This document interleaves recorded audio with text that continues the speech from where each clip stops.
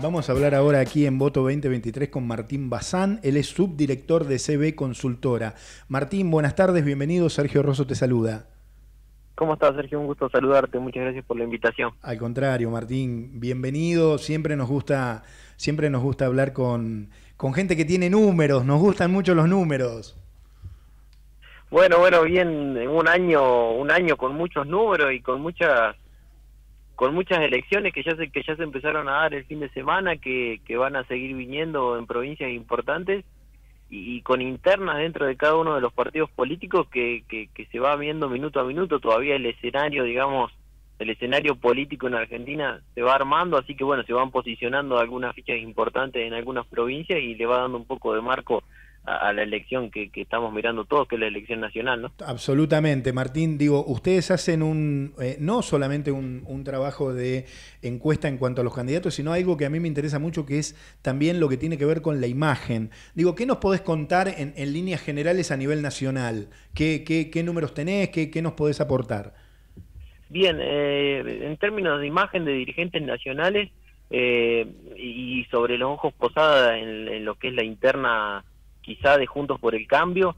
eh, hay una Patricia Bullrich eh, a nivel nacional que, que, viene creciendo, que ha acrecentado la diferencia hoy con eh, Horacio Rodríguez Larreta. Bien. Eh, en, en, dos o tres puntos más que, que, en lo que veníamos viendo en meses anteriores. y marcando ya una diferencia que cada vez se hace más grande sobre todo también con la influencia de la no presentación de Macri, un Mauricio Macri que, en esa interna, y ya hablando un poco de intención de voto, estaba en un tercer lugar de Juntos por el Cambio. Eh, bueno, entiendo que eh, él tenía esos números y que el equipo también, y, no ha sido eh, por, por, otra cosa que porque no le dieran los números para, para ser candidato o para someterse a una interna que lo podría dejar en un tercer lugar, eso también favorece a una Patricia Bullrich eh, a aumentar esa diferencia, sobre todo porque los votos de Mauricio Macri en el, análisis de los votos que nosotros hacemos de, las encuestas eh, son más lineales a Patricia Bullrich o a la más dura de Juntos por el Cambio, eh, entonces por ahí Horacio Rodríguez Larreta sale un poco más perjudicado, creo que ha intentado eh, ese golpe de timón o ese golpe en el tablero eh, que fue eh, un poco correrse o, mantener su, su, idea sobre la elección en, la ciudad, tampoco lo, ha ayudado en, en esta interna, sobre todo con el sector más duro. Martín, y esos números, digo, según, según tu análisis, según tu encuesta, ¿cuáles serían? Digo, ¿cuál sería la diferencia hoy a nivel nacional? Eh, aclaro, em, que es un trabajo de la, de la, de consultora CB, digamos, ¿cómo, cómo está hoy Patricia Bullrich y eh, el jefe de gobierno Horacio Rodríguez Larreta. Sí, bien, eh, en términos en términos eh, porcentuales, hoy estamos hablando de una Patricia Bullrich quizá en una intención de voto eh, cercana al 16-17% y un Horacio Rodríguez Larreta que ronda el 10% en esa interna de Juntos por el Cambio, eh, siendo hoy Juntos por el Cambio el, partido más votado y, entre todos los candidatos y en ese momento que nosotros habíamos medido también sumando a Mauricio Macri eh, cerca de un 30%, quizá un escalón por encima de lo del Frente de Todos eh, y, Javier Milei un poco por debajo también del frente de todos, pero con números muy buenos, cercanos casi al 20%. Te iba a preguntar eso, ¿cómo, cómo juega, según tu análisis, que se haya bajado el expresidente Mauricio Macri eh, y, también, bueno, la, aparición de un, de un candidato de, de derecha como Javier Milei? Y hoy muchos de los votos o de los votantes de, de Mauricio Macri quedan contenidos quizá en la imagen o en la, estructura política de Patricia Bullrich, o sea, no son votos que se escapan de Juntos por el Cambio, bien. Eh, sino que algunos también pueden ir eh, a, la figura quizá de Gerardo Morales, otros sí terminan cayendo muy pocos a, Horacio Rodríguez Larreta, pero no terminan saliendo de Juntos por el Cambio, una idea que a, priori eh, dentro de Juntos por el Cambio era que muchos podían salir a, Javier Milei, nosotros hoy no estamos viendo eso eh, desde lo numérico, sí, por ejemplo, eh, pasaría en un escenario hipotético en donde Horacio Rodríguez Larreta gane las PASO y mm. sea el candidato en las generales, eh, de Juntos por el Cambio, ahí sí se vería un derrame de votantes de Juntos por el Cambio del ala más dura, eh, podríamos decir, del ala de Patricia Bullrich, de Mauricio Macri, de Juntos por el Cambio, ahí sí se eh, derramarían a los a ser votantes de Javier Milei, e incluso en ese escenario Javier Milei podría terminar pasando al candidato del Frente de Todos, que en ese escenario que nosotros planteábamos era Sergio Massa, eh, superándolo por uno o dos puntos, eh, muy muy cerquita, incluso por debajo del margen de error, casi un empate técnico, eh, pero pero sí ahí se, se daba un balotaje eh, entre Horacio Rodríguez Larreta y Javier Milei. Bueno, es todo un dato, estamos hablando con Martín Bazán, él es subdirector de CB Consultora. ¿Y qué pasa en el frente de todos? Digamos, bueno, vos nos estabas contando justamente que hay alguna medición de masa, pero mi pregunta apunta, eh, si bien no hay candidatos o, no hay tantos candidatos definidos, eh, ¿qué es lo que pasa en la interna o qué es lo que arroja el estudio que ustedes realizaron en la interna del Frente de Todos? Bien, dentro del Frente de Todos hay una particularidad.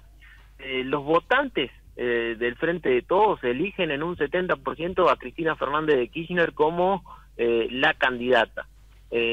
cuando nosotros abrimos esa pregunta, al público en general, Sergio Massa tiene los mejores números, eh, sobre todo porque eh, llega a votantes del Frente de Todos, eh, llega a votantes que no, no votarían al Frente de Todos, pero quizás sí lo votarían a Sergio Massa.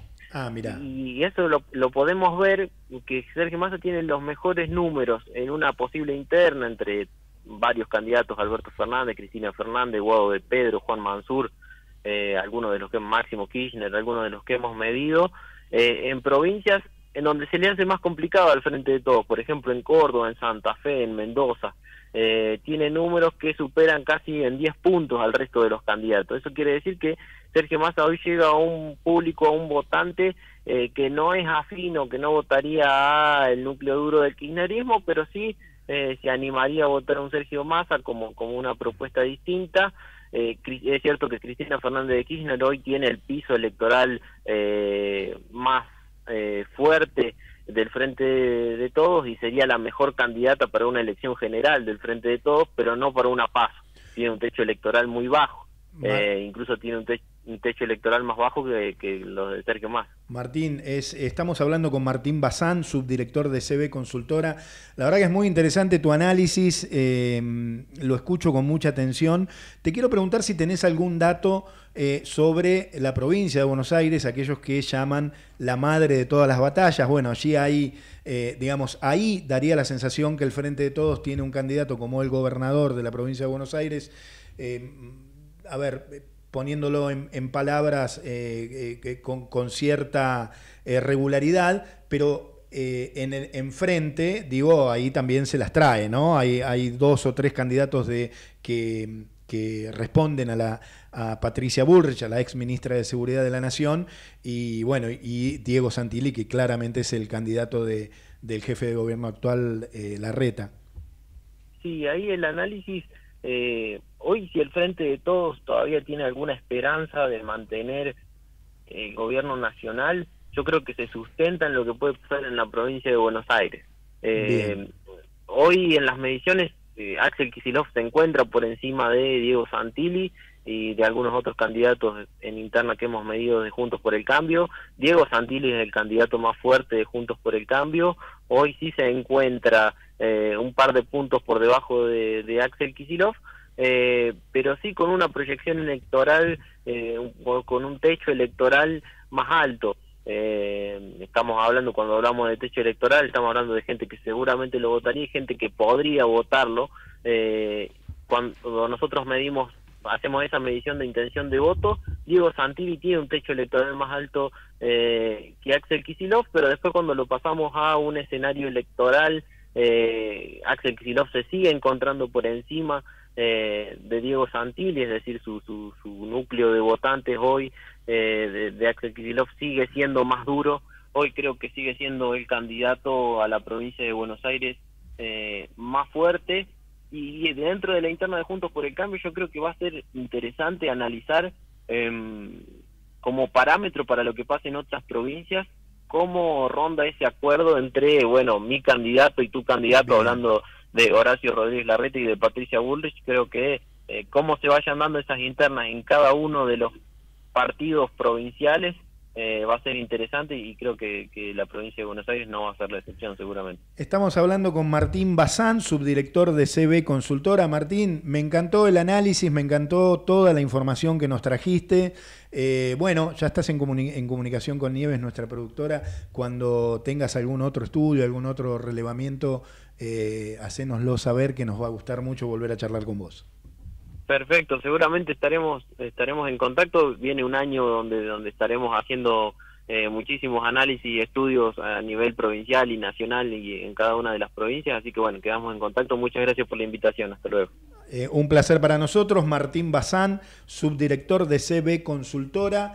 1857. Eh, escuchamos un poquito de música.